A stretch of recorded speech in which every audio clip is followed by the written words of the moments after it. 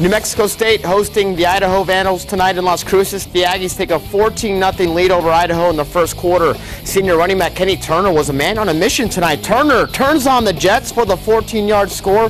He ran for 171 yards. Then it's Matt Christian on one of his only 14 pass attempts. This one good for a 20-yard score to Kamonte Bateman. It's 14-0 State.